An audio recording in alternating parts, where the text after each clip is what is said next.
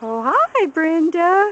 This is Mary. I'm over here at the Bella Vista School Gardens and cleaning up and stuff. And this one here, the flowers here, the beautiful yellow flowers I planted last year, and they're beautiful this coming up.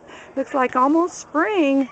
They sure survived the uh, winter snow or the winter cold. Also, here is another one that I planted last year and she seems to be getting better. And uh, so I've been working all day on the garden. And uh, as you can see, I've been working, working, working, cleaning up, cleaning, cleaning, cleaning. As you come down here, some things that survived during the uh, winter break time. Over here we have some little things that uh, have grown, some like tomatoes and uh, radishes and a little, oh, some kind of a squash. And over here we have some flowers over here growing. Over here, and some more coming. I'll just, we'll just do the walkway.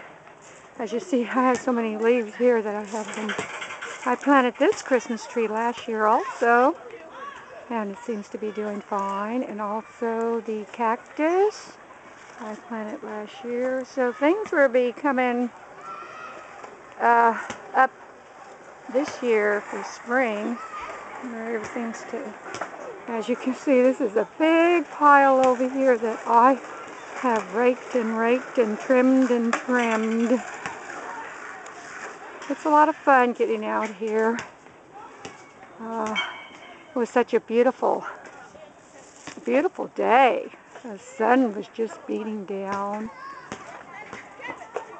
And uh, let me give you a little rundown here. As you can see, um, I like the flowers not to go over the landscaping border. And there, and more, and more. And it's getting dark, so I think I better call it a day. Uh, over here, over here, and over here, and here. And here's another little spot here that is starting to grow. I really enjoy gardening.